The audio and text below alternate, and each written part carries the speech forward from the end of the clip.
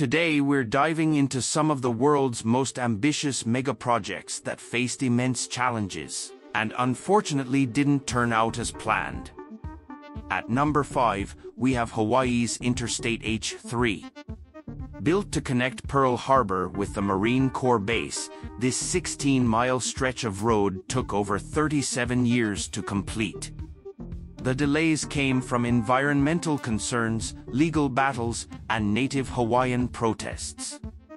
Despite its scenic views, the $1.3 billion highway remains controversial due to its high construction cost, cultural impact, and underuse. The traffic it was meant to alleviate never reached expected levels, making it one of the most expensive highways per mile in the US. At number 4, we have Ciudad Real Central Airport in Spain.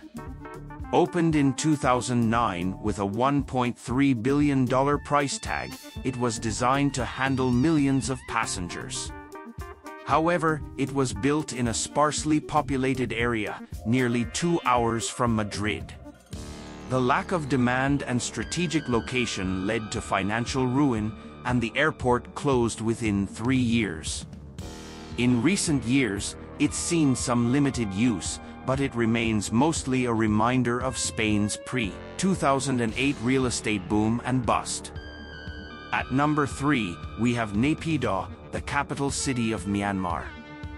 Established in 2005, this city was constructed with wide boulevards, extravagant government buildings, and even an 18-lane highway. However, there was one big problem, nobody wanted to live there. The city was built with minimal infrastructure for residential areas, leaving it feeling empty and unused.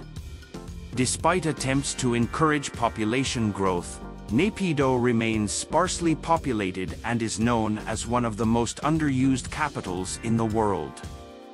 At number 2 is Forest City in Malaysia. Marketed as a futuristic smart city and eco-friendly paradise, it was aimed at foreign investors, particularly from China. However, restrictions on property ownership for foreigners and environmental concerns have slowed growth. Political changes and global economic challenges further hampered the project. While Forest City isn't entirely abandoned, its empty buildings and unfinished infrastructure make it feel like a ghost city, a far cry from its original vision. And finally, at number 1, the Yucca Mountain Nuclear Waste Repository in Nevada, USA. The US government invested over $15 billion into developing Yucca Mountain as the nation's nuclear waste storage solution. However, local opposition, environmental concerns, and political hurdles stalled its progress. Despite decades of work, the project was defunded in 2011 and remains incomplete, leaving the US without a permanent nuclear waste storage facility. Today, Yucca Mountain stands as a reminder of political and logistical challenges that can derail even the most necessary projects. These five projects show that even the grandest visions can face insurmountable obstacles. Whether it's environmental issues, financial constraints, or simply a lack of demand, mega projects can sometimes fall short of their goals. Thanks for watching, and don't forget to like and subscribe to our channel.